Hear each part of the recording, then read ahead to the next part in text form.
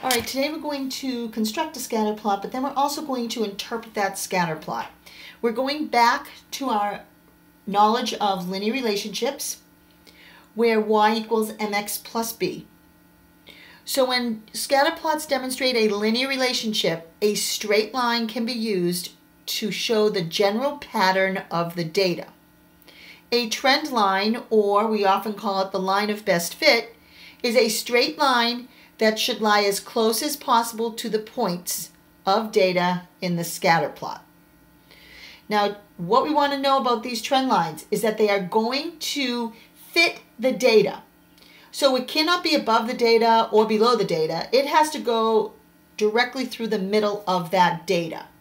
So we're going to look at these um, first four problems and we're going to determine whether or not that line that was drawn is a line of best fit. And just think of it exactly as those words are. Best fit. So does this line truly give the best fit of the data? If the data points are look like they're positive and linear, but the line drawn is negative, so no, this would not be a line of best fit. How about number two? The points are scattered. It looks like it's a negative um, line.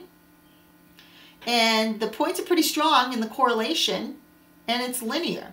So I would say that that line that is drawn is a very good representation of that data. There's points above the line and there are equally points below the line. So that would be a yes. Now what about the next one?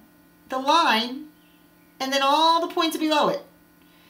That is not a line of best fit because it does not truly go through the data points. So that would be a no.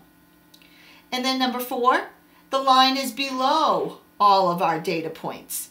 That line should have been up a little bit more and drawn through. So this also would be a no. So now you are going to remember that you can choose any two points and set them up as a ratio of rise over run to find the slope, which is m. We also can look at the y-axis to find our y-intercept, which is b. And then you are going to put it into slope-intercept form, y equals mx plus b. All right, so these three lines have been drawn for you. We need to find the slope, the y-intercept, and the equation. So we know that the slope, and I'm going to use the very bottom here, m is equal to the change in y over the change in x. So once again, this is x and this is y. Now I'm going to find two points on my line that I can easily find the slope for. And I have one right here. And I'm going to use this one right here on my line. Now if you recall, we can connect those points. Now this is falling down, so I know it's negative. So my change in y is my up and down, and that's going to be 1.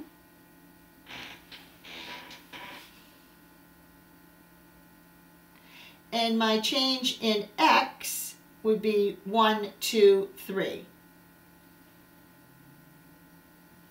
So my slope is negative 1 over 3.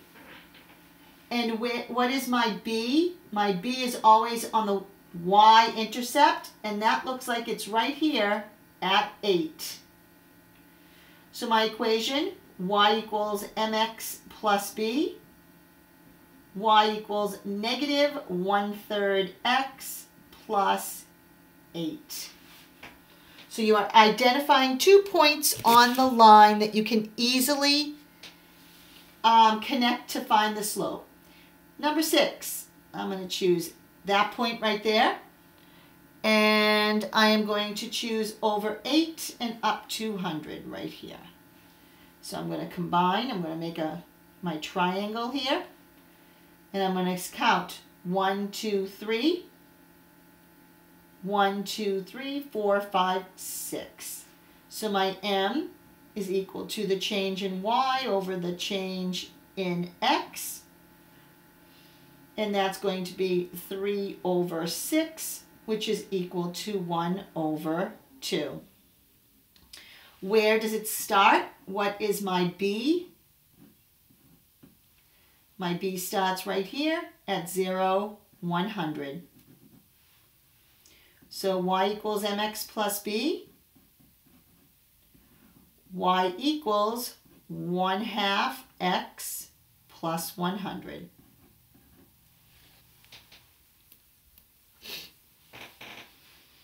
Okay, my last one, identify two points that you can clearly see. So I can see this point here, which would be 1 and 35, right there. And my other one would be over 3 and up right here. I'm going to go ahead. Now I know it's negative. m is equal to the change in y over the change in x. So I know that my change in y is 1, 2, 3, 4, and my change in x is 2. So that's negative 4 over 2, which is equal to negative 2. My b, where does it start? Starts up here. Now remember the scale's counted by fives. 5, 10, 15, 20, 25, 30, 35, 40, 45. So y equals mx plus b. y equals negative 2x plus 45. So you are going to be finding an equation from a trend line by connecting two points that you can easily identify connecting those two points, making our triangle, counting them, and finding the change in y over the change in x.